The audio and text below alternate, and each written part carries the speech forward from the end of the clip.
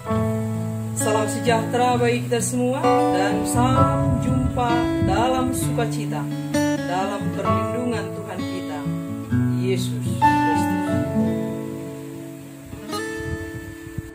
Mempercakapkan banyak hal tentang Yesus memang menarik, tetapi mengimaninya jauh lebih baik.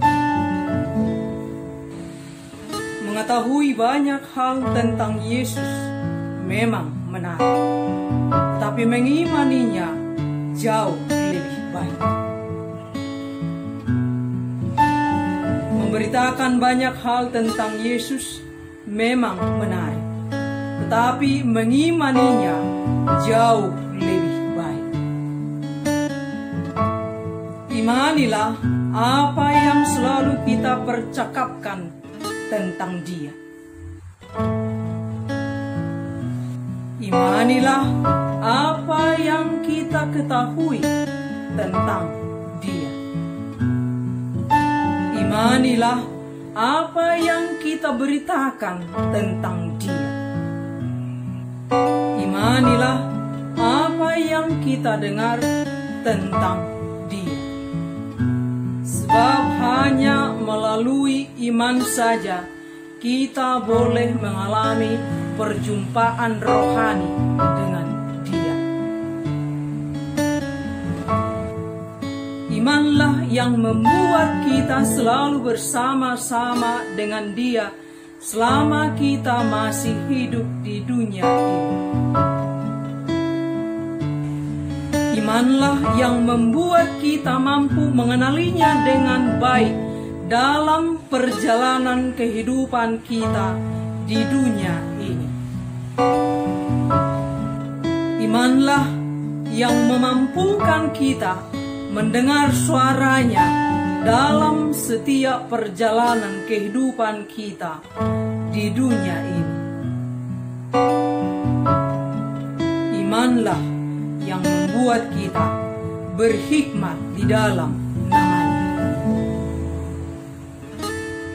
Supaya kita menjaga diri dari kesibukan yang luar biasa mempercakapkan banyak hal tentang dia tetapi kita tidak mengimaninya sama sekali dalam kehidupan kita sehari-hari.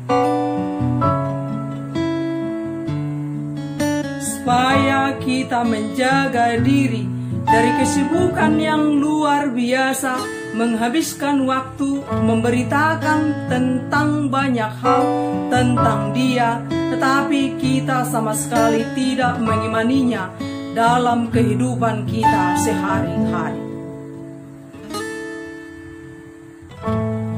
Supaya kita menjaga diri dari kesibukan yang luar biasa, menghabiskan waktu kita untuk mendengarkan banyak hal tentang Dia, tetapi kita tidak mengimaninya sama sekali dalam kehidupan kita sehari-hari. Tetapi mari kita imani segala hal yang kita percakapkan tentang Dia, segala hal apa yang kita dengar tentang Dia, segala hal apa yang kita ketahui tentang Dia, segala hal apa yang kita beritakan tentang Dia, segala hal apa yang kita dengar tentang Dia dalam kehidupan keseharian kita. Tetaplah beriman kepadanya.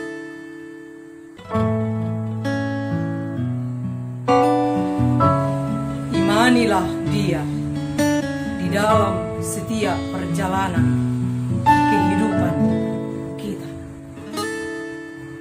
Tuhan Yesus memberkati.